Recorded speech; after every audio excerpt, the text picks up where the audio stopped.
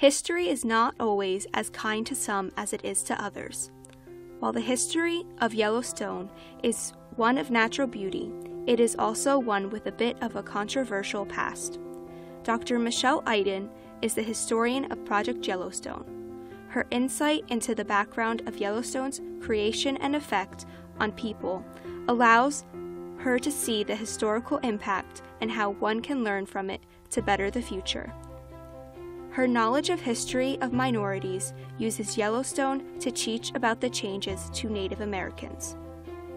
Through her own first-hand experience of learning about the park and from Dr. Shane Doyle, a member of the Crow Nation, she is able to teach her students about topics such as the increased poverty and rates of depression on reservations and how the effects of ideas such as manifest destiny are felt today.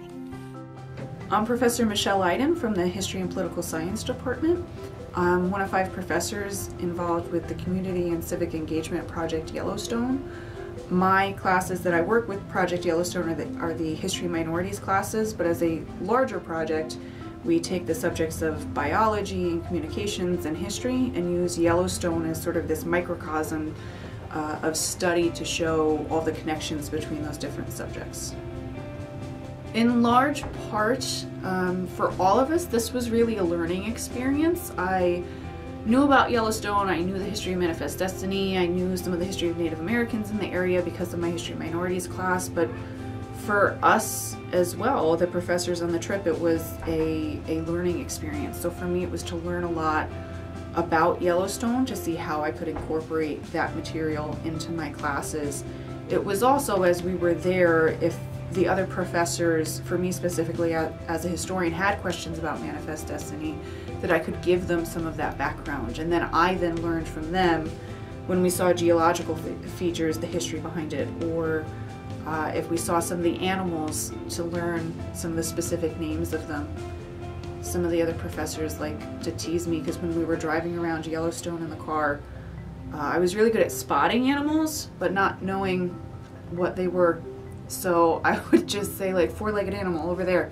And then the biology professors would say like the genus and species and I could tell you the history of the impact of the animals but not know what they were. So it was the coming together of those different subjects.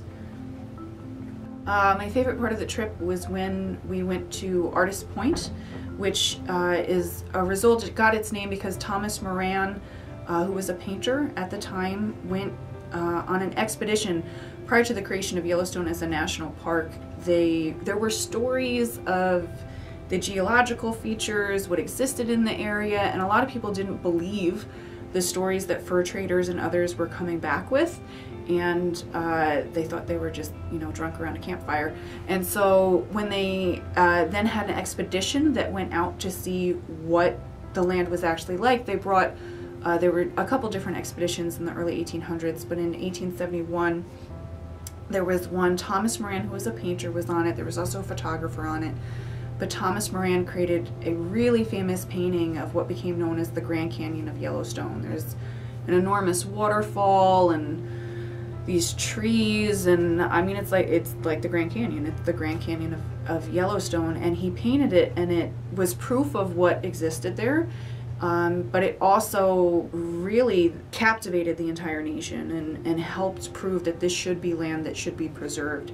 So there was another artist that went to see and tried to figure out, okay, where did Moran paint this painting? And he figured out it was probably around this one spot. So it became known as Artist Point as a result of that. Turns out they were probably wrong. It was probably actually on the other side of the canyon.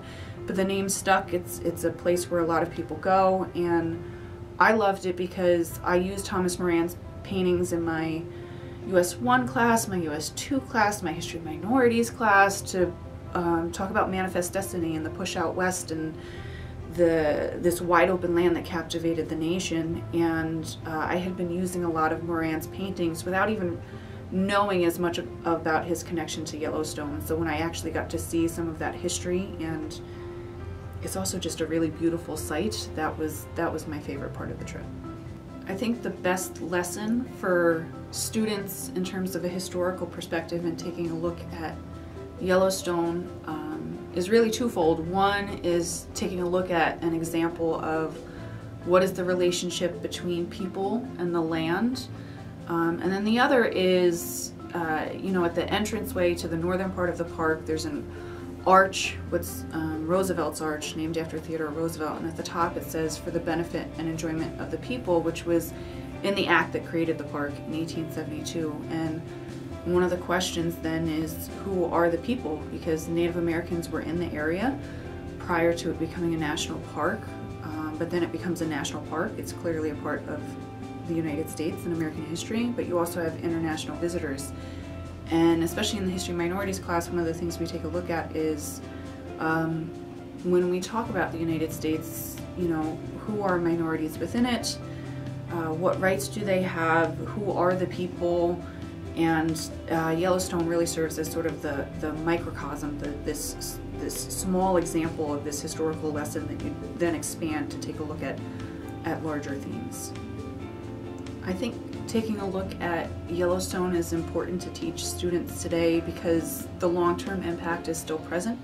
You have, uh, it's still a national park and there's still questions in terms of how do we use that land, what do we do on it, uh, for everything in terms of wolves on the land, the bison and hunting, and uh, I mean the relationship to the people of the land, and that that question and that debate doesn't go anywhere, and it applies to everyone throughout the United States, um, throughout the world, um, and so I think it's very easy to make the connections to today in terms of how do we use the land how do we respect it and how do we recognize that the history behind it impacts how we view it today.